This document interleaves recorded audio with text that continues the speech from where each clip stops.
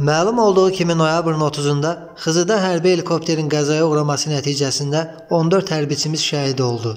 Dövlət Sərhəd Xidmətinə məxsus olan helikopterin hansı ildə istehsal olunduğu barədə general-mayor Elçin İbrahimov yeni açıqlama verib.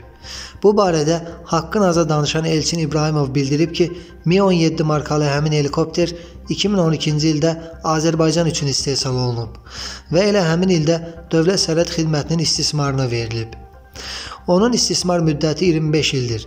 2020-ci ilin avqustunda helikopter təmirə göndərilib. 2021-ci ilin aprelində isə təmir işləri başa çatıb və sənədləşdirilib. Qeyd edək ki, Dövlət Sərhəd Xidmətinin rəisi Elçin Quliyev qəza baş verən gün öz çıxışında helikopter yeni idi, üzərində təmir işləri aparılmışdı fikrini söyləmişdi. Onun bu fikirləri isə sosial şəbəkələrdə geniş müzakirələrə səbəb olmuşdu.